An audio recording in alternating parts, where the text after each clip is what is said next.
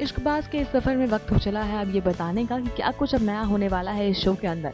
बता दें आपको कि जहाँ एक तरफ़ कामिनी रणबीर की हो चुकी है वापसी तो वहीं दूसरी तरफ़ शो के अंदर नयनतारा जी भी खेल रही हैं अपना खेल पिंकी के साथ मिलकर। बता दें आपको कि जितना एक्साइटेड हम लोग थे कि अनिका फाइनली धक्के मार कर निकालने वाली है नयनतारा को घर से बाहर तो अब ये सब एक सपना बनकर ही रहने वाला है, क्योंकि अभी शो के अंदर नयनतारा जी का रोल बहुत लंबा चलने वाला है। बता दें आपको कि नयनतारा लाने को है एक बहुत बड़ा ड्रामा शो के अंदर, जिसकी वजह से अब अनिका को शिवा ये बात मानने पर मजबूर कर देगा कि अनिका की माँ नयनतारा ही है। क्योंकि अब शो के अंदर नयनतारा खेलने वाली है एक और बड़ा और गंदा खेल, जिसमें अब शो के अंदर नयनतारा पहचान जाएगी शिवाय अनिका की कमज़ोरी को। ये देखेंगे आप। बता दें आपको कि शो के अंदर अब नयनतारा जान जाएगी कि अनिका की जान बसती है साहिल में, और अब साहिल को ही किडनैप करने की धमकी देती हुई नज़र आने वाली है नयनतारा शिवाय को।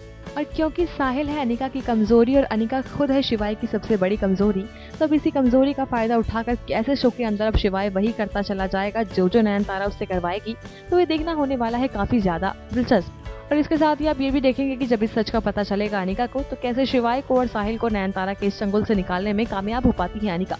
तो बने रहिए हमारे साथ और साथ ही सब्सक्राइब कीजिए हमारा channel top news just for you Nayanthara और अनिका से जुड़े इस ट्रैक की लेटेस्ट खबरें जानने के लिए। टॉप न्यूज़ से आस्था की रिपोर्ट